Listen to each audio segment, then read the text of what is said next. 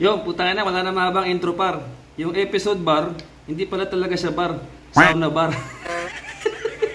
Dahil nasa taas yung gym par, sa baba ka magsasauna bat para pag pinawisan ka, diretso ka na sa gym. Gago ka ba? Ngayon, ngayon lang ako nakakita para. Ngayon ako nakakita, no, ng sauna bat na may mga lamesa tapos kumakanta tapos may pagkain, no?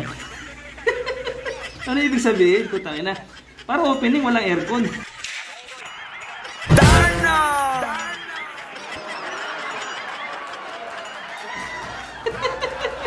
Putang ina. Dapat nagbigay ka ng dress code. Dapat naka two piece lang tsaka naka trunks lang yung mga sa first day kasi walang aircon, no?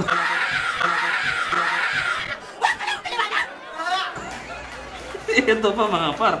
Puta, ang total sales ata ng ticket, 2,000 kasi may isang bumili, vlogger pa.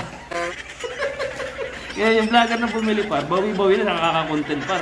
No? 1,000 views eh, Facebook tsaka sa ano, sa YouTube. No? Tapos yung mga guests, madami naman, no? So parang nangyari kanina par, eh, parang may team building lang na nangyari. Kasi yung mga nandun daw, may-ari, kamag-anak na may-ari, hipag, bilas, lahat nandun na, no? Pati mga kaibigan. So talaga mapupuno, no? Woo! Tayo na, na-scam na naman kayo. Tapos meron pa silang bubuksan sa Pampanga, no? Ganun din. Eh, sinong tanga mag invest dyan? No? Mas maganda siguro yan kung nilagay mo sa Quiapo, eh. Para yung mga sinasabi mo, tinutulungan mo na binaboses mo maliliit, yun ang naging guess mo kanina, no? Wala mang panain ka dun, eh, no? Mag- Mag-open ka ng ano par, ng ah, restaurant na walang aircon, putang ina. Mas okay pa sa ano eh, tapsihan. eh lang, no?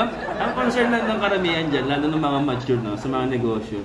Hindi kasi maganda talaga yung marketing strategy, putang ina. Paano ka makakapag-invest sa ganung negosyo na hindi na nga kilala par, tanga pa yung nag, ano. Palibasa walang ginastos eh. Wala siyang pera dyan par eh. Nakakuha siya ng investors, laway lang sa kanya. Ngayon magtatayo sila ulit par. Sa tingin mo, mga ilang taon bago mabawi yan. No? Malamang siguro mga 60 ka na, hindi mo pa mabawi pag ganyan strategy mo. Sana, sana ginawa mong guys yung mga taga Quiapo na talagang sumasang-ayon sa'yo, no? Para mas maganda yung naging kantahan kanina doon par. Yung mga kantahan ng My Way, gano'n.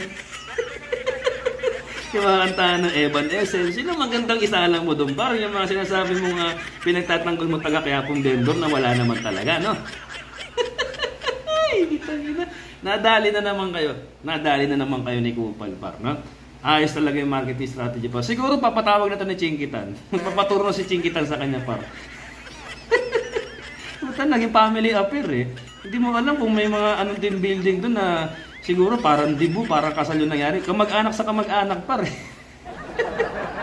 so kaya pala episode bar, no? Pagpasok mo ng restaurant par, doon ka magpapapawis. So, dapat pagkakain kayo doon, ang suot nyo, two-piece lang talaga. Hanggat maaari nga, plastic cover lang. Eh. Para pagpawis kayo habang busog, magdurog kayo ng tabado sa taas. No?